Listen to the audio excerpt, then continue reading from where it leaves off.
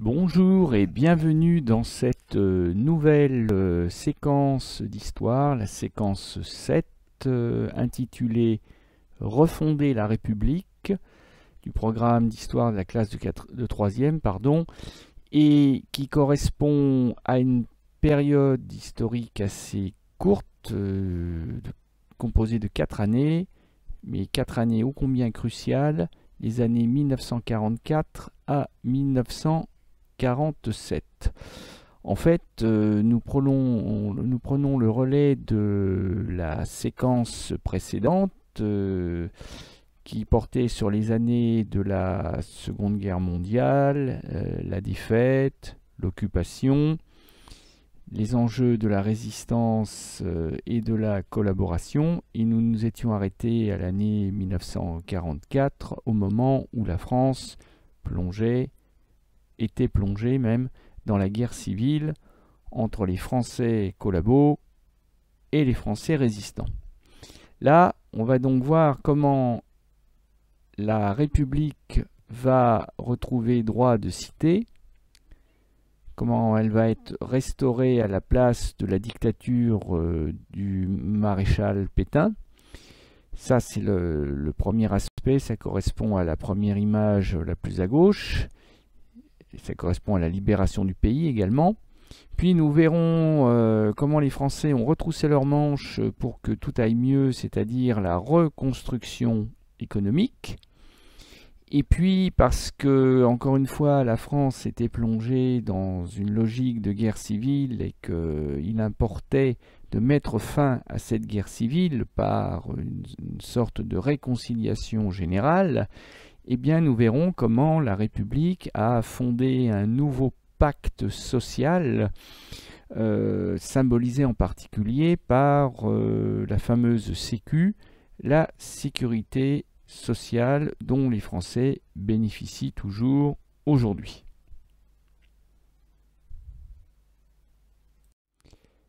Alors, comme d'habitude, euh, vous êtes rodé à l'exercice. Euh, nous allons commencer par planter le décor euh, spatial de notre séquence. Et là, le décor spatial, ça va correspondre à la carte de la libération du territoire national de métropole. Autrement dit, nous allons, en bâtissant cette carte d'histoire, euh, répondre euh, à la question suivante. Quelles ont été les circonstances, les acteurs aussi, et les étapes de la libération du territoire de la France métropolitaine au cours de l'année 1944 et, comme vous allez vous en rendre compte, euh, même plus particulièrement dans les six derniers mois dans le second semestre de l'année 1944.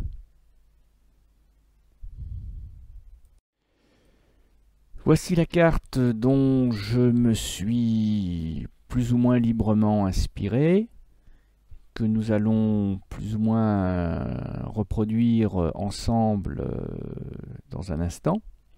Alors juste euh, prenons un peu connaissance quand même des informations de la carte pour bien en comprendre le sens.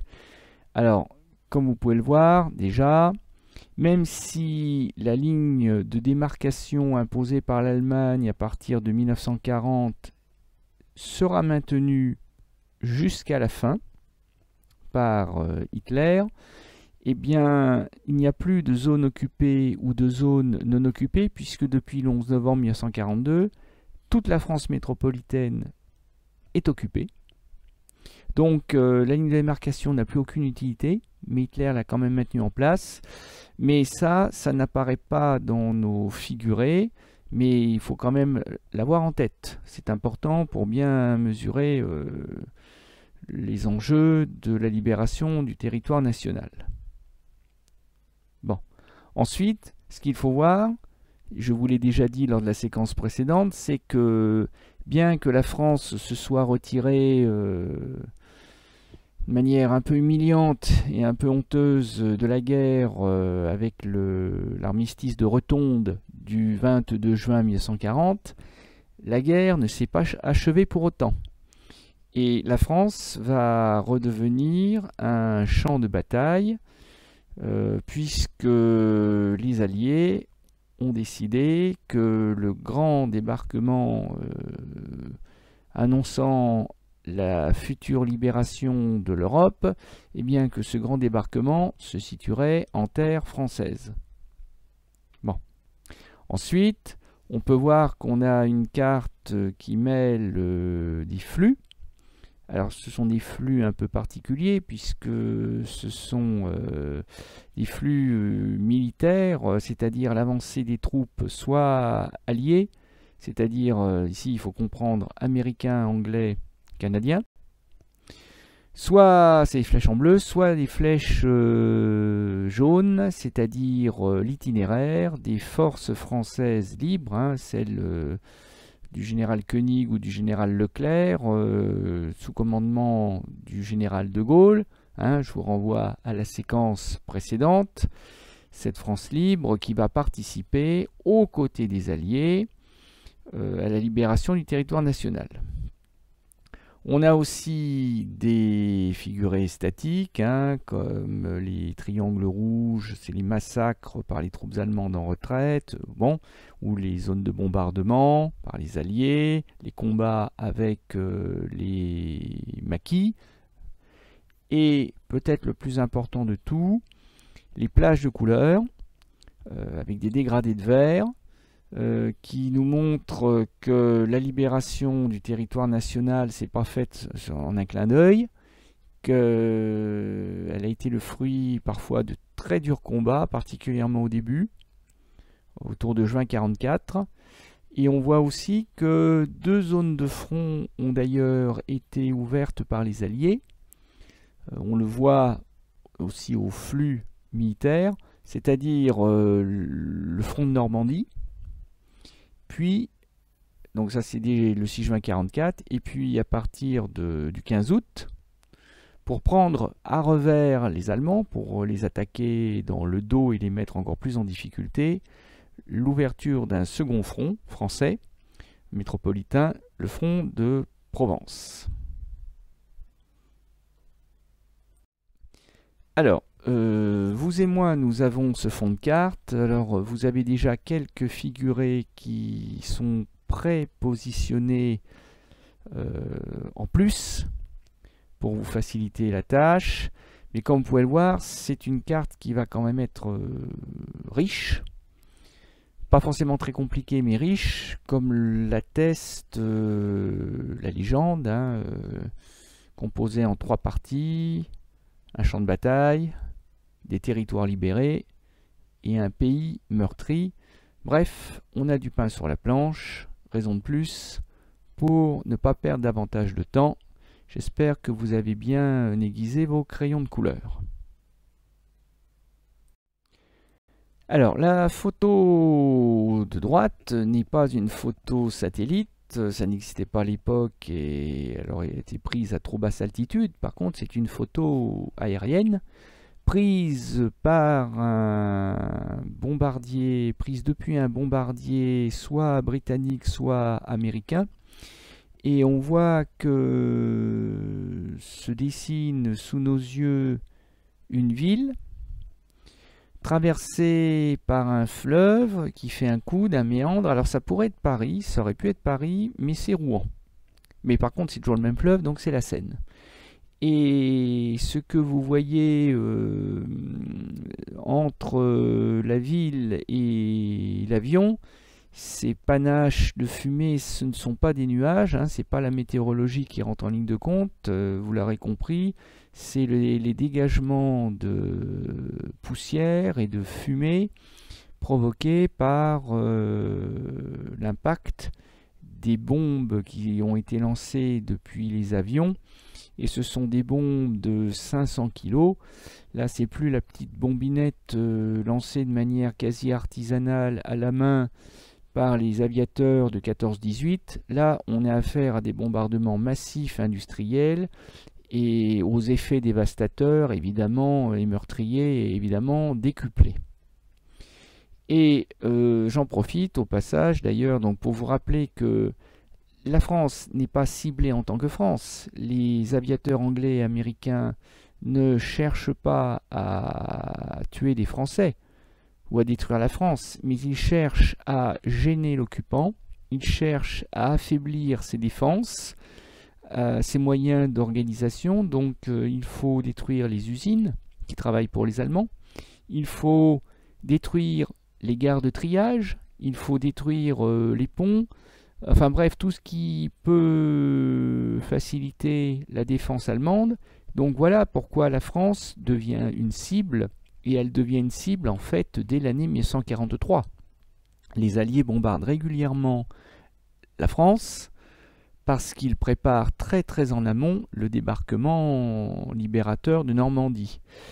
Et c'est l'occasion pour moi de revenir sur euh, une œuvre de propagande assez connue qui aurait pu être euh, commanditée par euh, l'occupant allemand, mais qui est l'œuvre de la propagande du régime du maréchal Pétain, du régime de Vichy. Et c'est une affiche qui est très bien faite, d'autant plus qu'elle joue sur la corde sensible et elle joue sur l'émotion des Français parce que les bombardements sont très meurtriers et celui de Rouen l'est particulièrement. On va dénombrer des centaines de morts et notamment des enfants.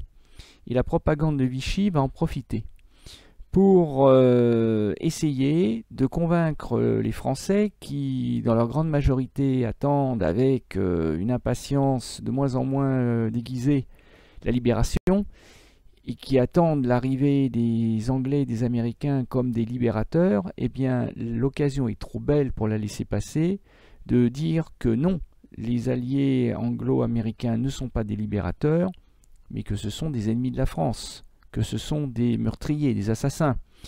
Et le régime de Vichy joue ici sur la corde sensible de l'histoire, en rappelant qu'en 1431, à Rouen déjà, Jeanne d'Arc, qui symbolisait d'une certaine manière la France, avait été brûlée vive par les Anglais, qu'il avait ainsi puni de leur avoir, pour ainsi dire, euh, caricature un peu, mais c'est pas loin d'être la vérité, pour la punir de leur avoir fait perdre la guerre de Cent Ans. Donc euh, c'est pas Marianne parce que Pétain euh, a mis Marianne au tombeau. Hein, Marianne, c'est la République, et avec Pétain, il n'y a plus de République. Donc c'est pas vraiment Marianne qui est représentée, c'est Jeanne d'Arc. Mais Jeanne d'Arc représente, d'une certaine manière, la France martyrisée par les Alliés.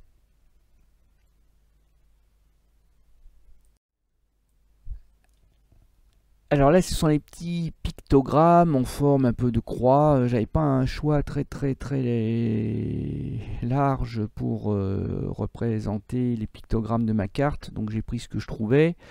Euh, donc je distingue, mais la différence n'est pas très très importante, les, bombardements principaux systématiques, c'est ceux qui sont en noir. Donc ce sont les grands ports français, Le Havre, Brest, Lorient, La Rochelle, Royan la façade atlantique ou de la Manche. D'autres bombardements un peu moins systématiques, un peu moins importants, c'est les grandes villes, euh, certaines grandes villes françaises, certaines grandes villes industrielles.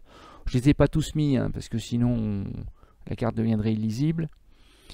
Mais ce qu'il faut voir, c'est que les Alliés, qui savent depuis 1943 qu'ils vont débarquer quelque part en Normandie, ne veulent évidemment pas donner l'information aux Allemands, donc euh, si les Alliés n'avaient fait que bombarder la vallée de la Seine, eh bien les Alliés euh, auraient ainsi fait comprendre aux Allemands que le débarquement euh, se déroulerait dans les parages, ce qui renforçait la capacité des Allemands de se défendre et pourquoi pas de rejeter les Alliés à la mer, ce qui aurait été fâcheux et ce qui aurait peut-être changé le cours de la guerre, sait-on jamais.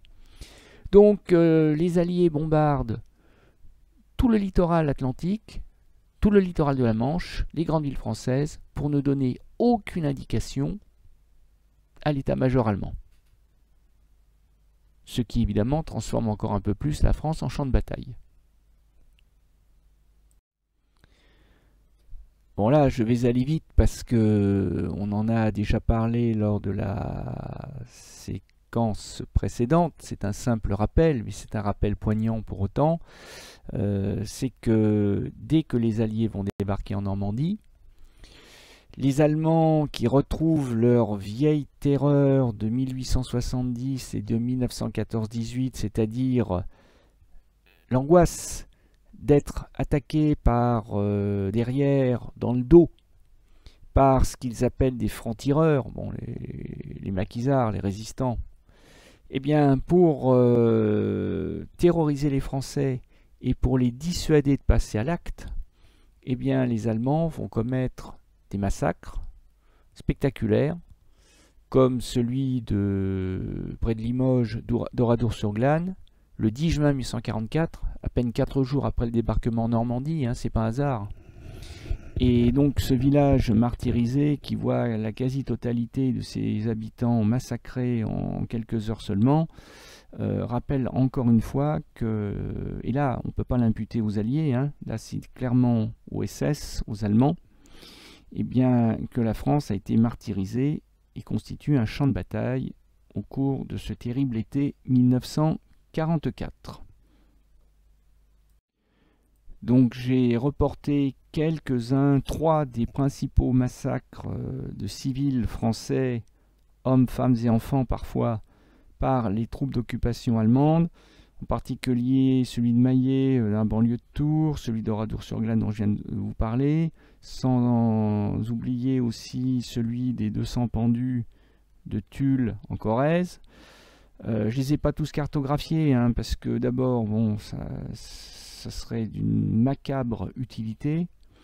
Et puis là encore, c'est comme pour les bombardements, euh, si on les cartographie tous, finira par ne plus rien voir et ça perdra toute utilité.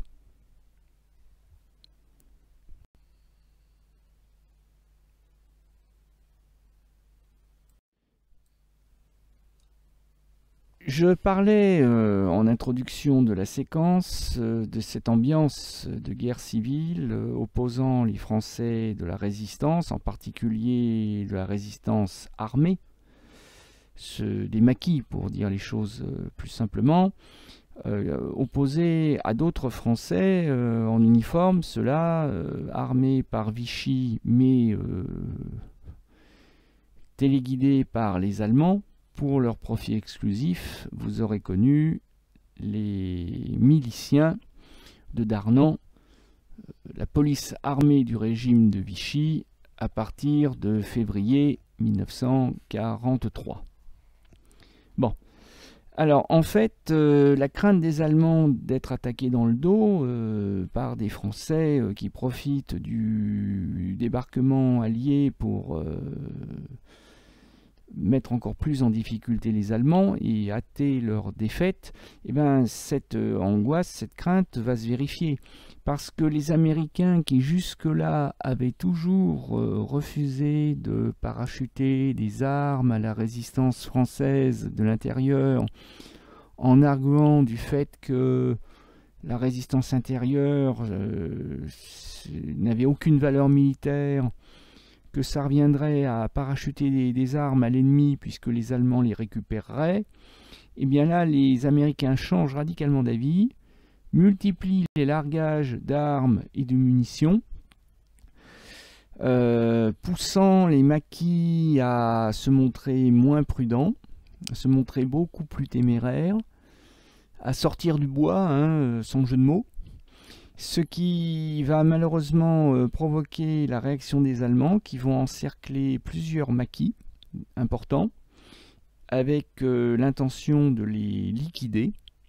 Et là, euh, il va y avoir des drames effectivement assez épouvantables parce que dans cette lutte contre les maquis, on peut dire que là encore, on est un peu dans une logique d'extermination parce que les Allemands et leurs euh, supplétifs, euh, les miliciens, ne feront pas de prisonniers.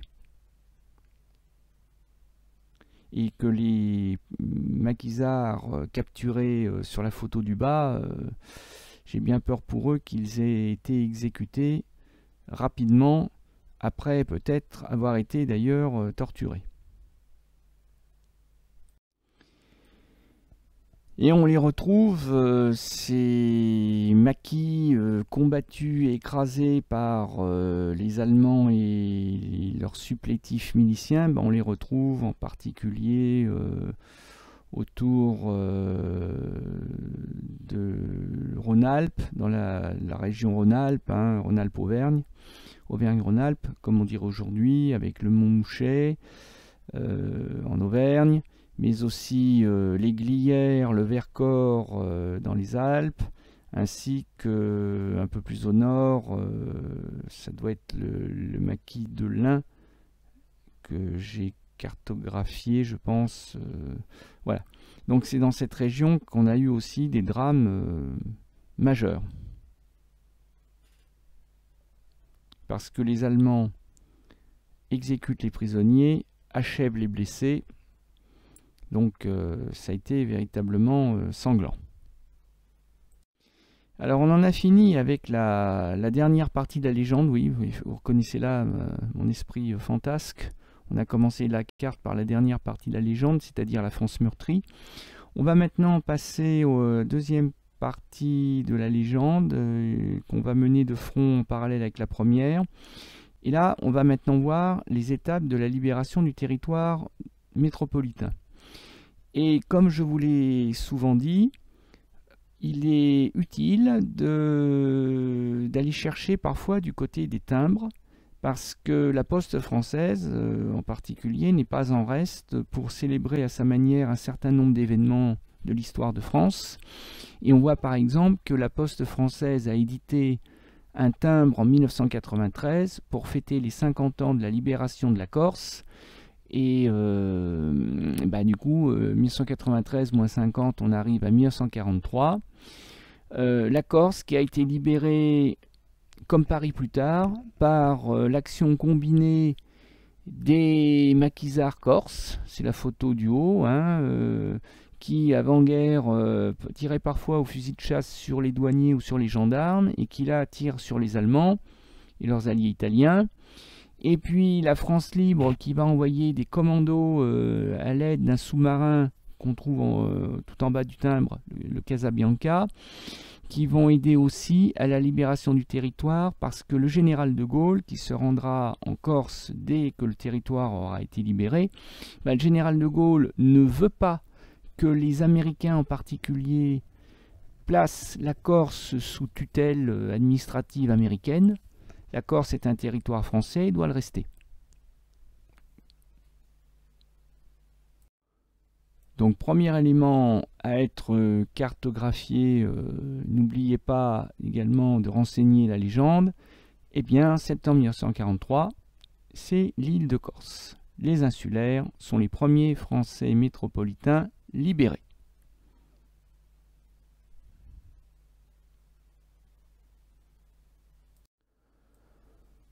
Ensuite, euh, nous avons le débarquement de Normandie du D-Day le 6 juin 1944, la plus formidable opération militaire de tous les temps, euh, combinant euh, donc force terrestre, force maritime et force aérienne, qui débarque dans la, ce qu'on appelait à l'époque la basse Normandie, c'est-à-dire la rive gauche de la Seine. Et les Alliés, donc, euh, réalisent ce grand débarquement attendu par les Européens occupés depuis déjà si longtemps.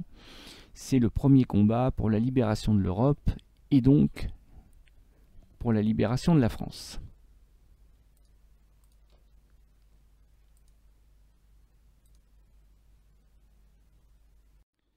Alors, on ne peut pas vraiment dire que le débarquement du 6 juin 1944 a été un échec, évidemment, euh, bien sûr que non, mais ça n'a pas été non plus la franche réussite, espérée, puisque les Alliés vont piétiner en Normandie pendant deux mois. Et quand je dis piétiner, euh, c'est peu de le dire parce que les Allemands vont faire preuve d'une résistance farouche, animée par l'énergie du désespoir, parce qu'ils savent bien que tout se joue, le sort de la guerre, et pas seulement le sort de la France, se joue en Normandie. Donc les combats sont d'une dureté comparable au pire combat de 14-18, c'est la même boucherie. Le bocage normand remplaçant les trous d'obus de Verdun, mais on a les mêmes pertes, le même nombre de morts au mètre carré qu'à Verdun par exemple. Et au bout de deux mois, quand les Allemands vont enfin lâcher prise, eh bien, seule la presqu'île du Cotentin euh, est aux mains des Alliés. C'est un début, certes, mais c'est un début laborieux, je vous invite à colorier en vert foncé. En vert foncé, ben, c'est ce, qui est, ce qui est libéré, euh, c'est ce qui est le, territoire français libéré en à peine, euh, en plus de deux mois. Donc ça fait pas beaucoup. Mais les Allemands plient, lâchent prise, permettant aux Alliés de foncer vers l'Est, c'est-à-dire euh, vers, euh, vers le Reich, vers l'Allemagne. L'état-major américain a la ferme intention de contourner Paris. Paris ne représente en aucun cas un objectif militaire. Que Paris tombe aux mains des Alliés ou pas, ça n'est pas ça qui changera le sort de la guerre. Soit. Mais le général de Gaulle ne l'entend pas de cette oreille. Paris n'est peut-être pas un objectif militaire, mais c'est un objectif politique. Et c'est encore plus important. Parce que Paris, c'est quand même la capitale euh, de la France. C'est la raison pour laquelle le général de Gaulle va prendre le risque de se fâcher, oh, c'est pas la première fois, avec ses alliés anglo-américains il va ordonner à Leclerc de désobéir à l'état-major américain.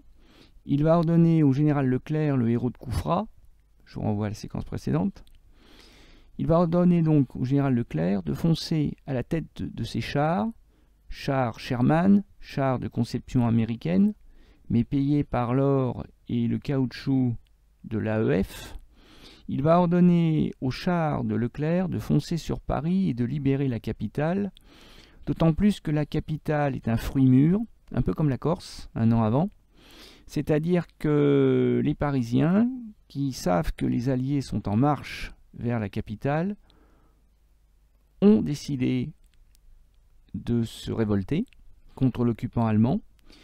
On voit des Parisiens, mais aussi des Parisiennes dresser des barricades et prendre les Allemands au piège dans de véritables combats de rue. Ce qui facilite évidemment la tâche euh, de la deuxième division blindée, la deuxième DB du général Leclerc, qui, appuyé mais à contre-coeur par les Américains, rentre dans Paris le 25 août 1944. Le lendemain, 26 août, le général de Gaulle ne perd pas de temps. On le voit au premier rang. Derrière lui, avec son képi, une écharpe blanche, le général Leclerc. Et on voit De Gaulle qui défile sur les Champs-Élysées, ce qui permet premièrement de laver l'affront des défilés allemands du mercredi euh, sous l'occupation, mais ça permet aussi de montrer que la vraie France est de retour, la seule France, comme le dira le général de Gaulle, c'est-à-dire la France euh, libre. D'autant que De Gaulle ne perd pas de temps, hein, euh, il va nommer un préfet, D'ailleurs, le préfet, on l'aperçoit. C'est l'homme de petite taille euh, en uniforme avec un brassard tricolore sur la droite de la photographie. Et en plus, euh, De Gaulle ne représente pas que lui-même, hein. il représente, on peut dire d'une certaine manière, la France entière, hein. aussi bien la France combattante que la France euh, des civils, aussi bien la résistance extérieure que la résistance intérieure. Et c'est une manière de faire comprendre aux alliés anglais et surtout américain, qui ne servirait à rien de tenter de mettre la France sous tutelle. La France se gérera par elle-même, puisqu'elle a déjà un dirigeant qui a une stature de chef d'État, c'est De Gaulle. Donc si on en revient à notre carte, eh bien là, euh, c'est assez spectaculaire. En quelques semaines, euh, en pas plus de temps finalement qu'entre le 6 juin 1944 et puis euh, la libération du Cotentin, et bien là, euh, on a un petit quart nord-ouest de France qui est libéré entre le littoral breton et la vallée de la Seine. Et Paris, donc, qui se libère elle-même avec le concours des armées de la France libre.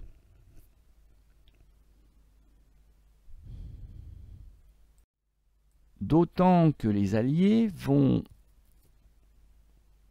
prendre en tenaille la résistance allemande en opérant un deuxième débarquement de masse, alors moins ambitieux, moins massif que le débarquement du 6 juin 1944, mais quand même 150 000 Français libres débarquent du côté de Marseille le 15 août 1944 force la résistance euh, des défenses allemandes et vont remonter à toute vitesse le long de la vallée du Rhône en direction de Lyon.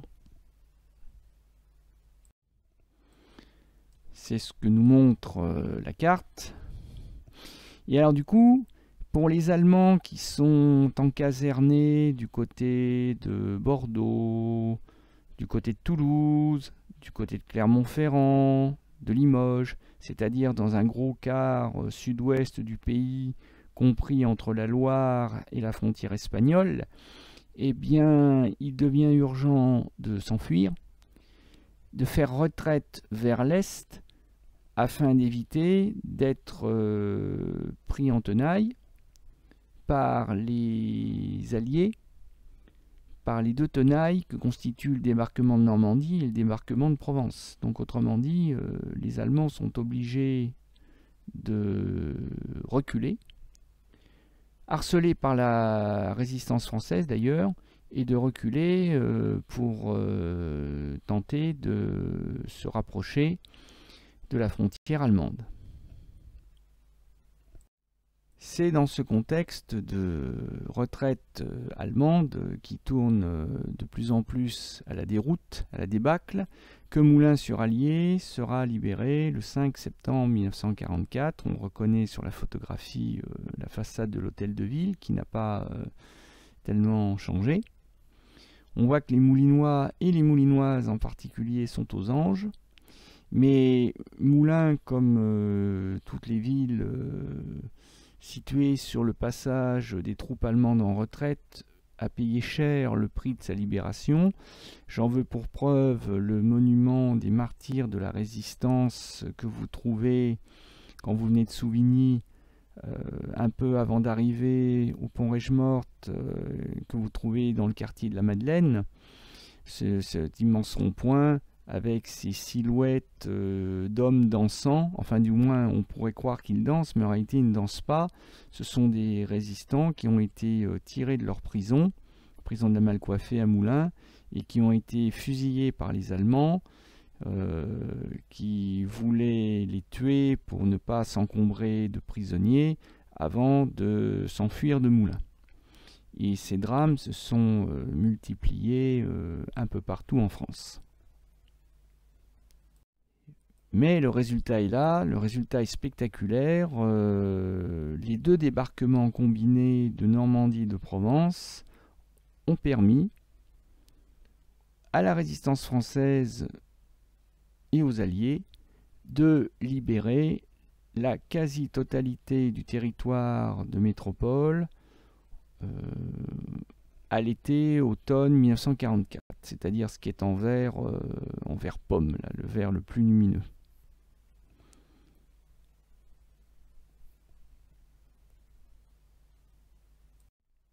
Et dans ce contexte, euh, le général Leclerc, qui avait en 1941, depuis le fin fond du désert libyen, prêté serment à Koufra de ne déposer les armes qu'après avoir vu flotter le drapeau tricolore euh, sur la flèche de la cathédrale de Strasbourg, autrement dit après avoir libéré la totalité du territoire national, eh bien, le général Leclerc a la satisfaction de tenir parole, lui et ses hommes entrent dans Strasbourg, toujours à la tête de leur char Sherman, le 23 novembre 1944.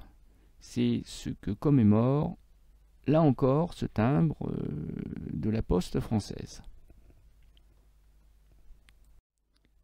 Et l'on voit que la deuxième division blindée qui a débarqué de Normandie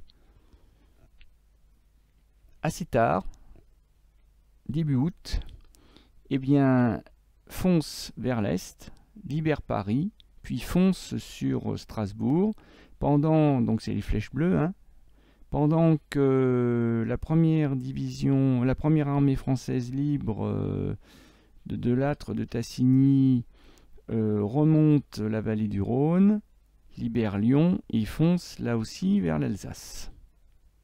Suivant la progression en parallèle des forces alliées anglo, américano, canadiennes.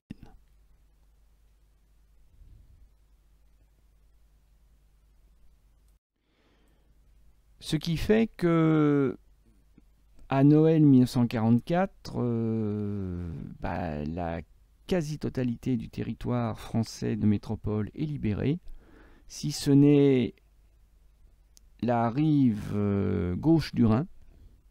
Hein, c'est cette petite superficie, cette petite bande de territoire euh, en gris qui reste encore aux mains de l'Axe, mais plus pour très longtemps. Sachant que, et c'est pour le, souci du détail, euh, des Allemands se sont enfermés dans un certain nombre de ports français, comme euh, en particulier Royan et La Rochelle, et ils résistent le plus longtemps possible. Comme euh, Royan et La Rochelle ne sont pas des objectifs militaires de premier plan, c'est pas là que va se jouer le sort de la guerre, les Alliés les laissent s'enfermer dans les ports, dans les villes portuaires, et attendre la reddition des Allemands. Et il faut dire que les Allemands ne sont pas très très pressés de se rendre, puisque la poche de résistance de Royan ne sera euh, finalement conquise que le 30 avril 1945, le jour même où le Führer Adolf Hitler se suicide alors que Berlin est en train de tomber aux mains de l'armée rouge de Staline. Et il me semble bien que pour euh, La Rochelle, c'est pire, puisqu'il me semble bien que La Rochelle ne s'est rendue que le 8 mai 1945, c'est-à-dire le jour où les forces armées allemandes ont fini par capituler. Voilà, donc ce sont les deux petites taches euh, violettes, mauves euh, de la carte. Hein. Donc ça veut dire que pour les Français des environs de La Rochelle et de Royan, bah, eux, ils ont eu encore un peu moins de chance que les autres, et les Corses notamment, puisque pour eux, l'occupation a duré plus longtemps. Hein. ils ont véritablement, si, vous permettez cette expression, ils ont joué les prolongations. Et pour finir, parce qu'on arrive quand même à la fin de la carte, euh, eh bien, c'est un peu l'histoire de l'arroseur arrosé. Hein, euh, c'est-à-dire qu'après avoir été envahi, euh, ben, la France va envahir à son tour l'Allemagne nazie. Et cette photographie a beau être prise un 1er avril, le 1er avril 1945, hein, ce n'est pas un poisson d'avril, ce n'est pas une plaisanterie on voit des troupes françaises, euh, toujours équipées de chars euh, américains, mais peu importe, qui traversent le Rhin. Comme euh, à l'époque glorieuse de Louis XIV, hein, les Français traversent le Rhin pour aller attaquer, alors non pas le Saint-Empire, mais le Troisième Reich, et pour participer à l'invasion de l'Allemagne nazie. Et c'est très important parce que c'est ce genre d'événement qui va permettre à la France celle de De Gaulle bien sûr, de faire partie des vainqueurs, des grands vainqueurs de la guerre. Et ça aussi, ça va décider du sort de la France, et ça va permettre à la France de rester une grande puissance euh, de la planète après la guerre. C'était pas gagné d'avance après la défaite de 1940. Voilà, donc il ne reste plus qu'à mettre un peu de rouge sur les territoires de l'Axe qui ne sont pas encore envahis par les Alliés fin 1944, mais qui le seront donc dès le début de 1945, ce qu'on vient de voir avec la photo précédente. Et ça nous fait une belle carte, bien riche, bien remplie, qu'il ne vous reste plus qu'à peaufiner, qu'à soigner, et surtout, dois-je vous le rappeler, en vue du brevet, à apprendre. C'est tout pour aujourd'hui. Bonne journée, à bientôt.